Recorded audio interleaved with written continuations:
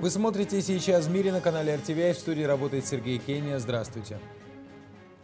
Сирийскую столицу сотряс очередной мощный взрыв. Заминированный автомобиль взлетел на воздух в центре Дамаска у здания, где раньше располагалось Министерство внутренних дел страны.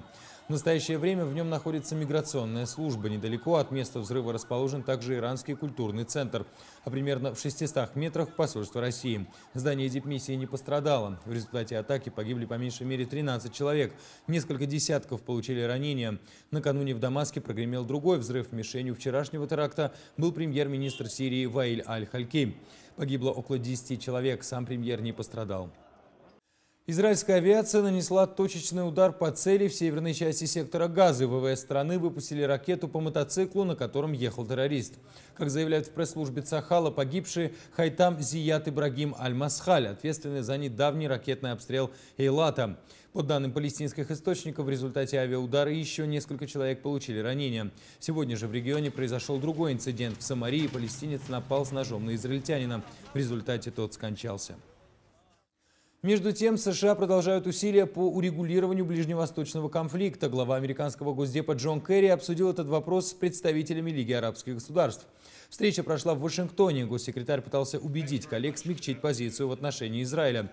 Керри вновь подчеркнул стремление Вашингтона добиться возобновления мирного диалога и вновь высказался в поддержку формулы «два государства для двух народов».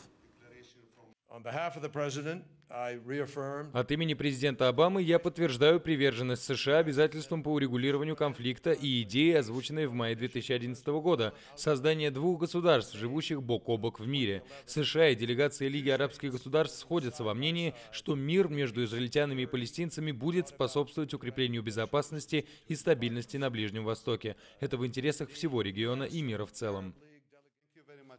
США пытаются убедить арабские страны признать возможность так называемого обмена территориями между Израилем и Палестиной. Представители ЛАК с такой формулой согласны только частично. Лига арабских государств считает, что мирное соглашение должно быть основано на создании двух государств, опираясь на границы 1967 года, с возможным соизмеримым и взаимно согласованным незначительным обменом территориями. Монархическое правоприемство. В Амстердаме сегодня прошла официальная церемония отречения от престола 75-летней королевы Нидерландов Беатрикс. Она передала корону своему сыну Вильяму Александру, принцу Аранскому. Престола наследие по-голландски у моей коллеги Нины Шамуги. Легким движением руки монарших особ Нидерланды покончили с матриархатом. Королева Беатрикс поставила точку в 123-летнем женском правлении – Впервые за век на престол взойдет мужчина, который станет самым молодым монархом Европы. Я сердечно приветствую вас всех на этой церемонии.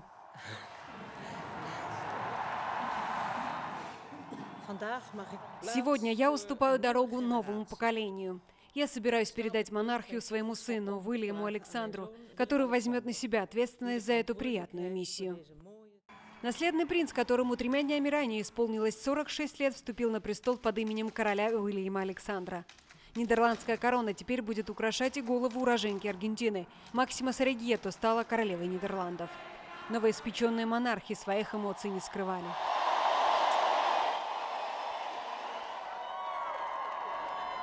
Lieve moeder, Дорогая мама, сегодня вы отреклись от престола после 33 замечательных и вдохновляющих лет правления. Мы благодарим вас за вашу службу.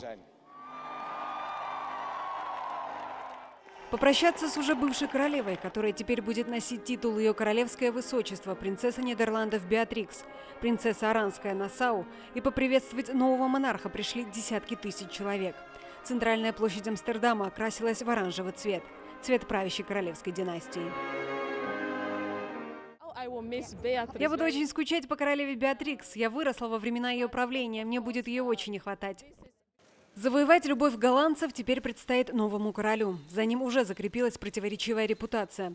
Несколько лет назад Уильям Александра окрестили принцем Пилсом за его пристрастие к пиву. Перед монахом, который снискал себе славу обеспеченного человека, стоят важные задачи. В Нидерландах король является главой государства и председателем Государственного совета. Его полномочия заключаются в трех правах монарха – давать советы, предупреждать и поощрять.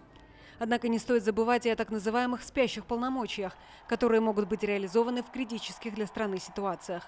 Именно король в случае правительственного кризиса выбирает форматора. Который обязан провести переговоры с представителями парламента и согласовать состав Кабмина.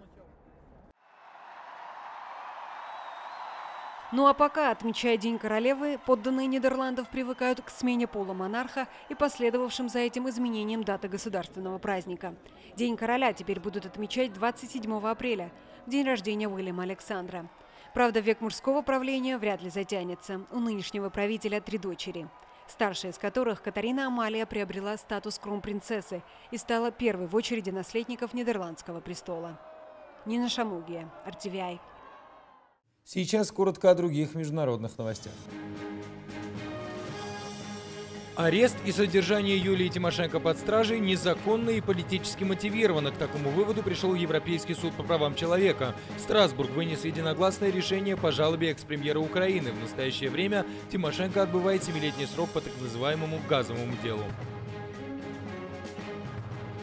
Президент Объединенных Арабских Эмиратов проводит встречи в Великобритании. Визит пришелся на непростое время в отношениях двух стран. Накануне в Дубае троих британцев, обвиняемых в хранении наркотиков, приговорили к четырем годам тюрьмы.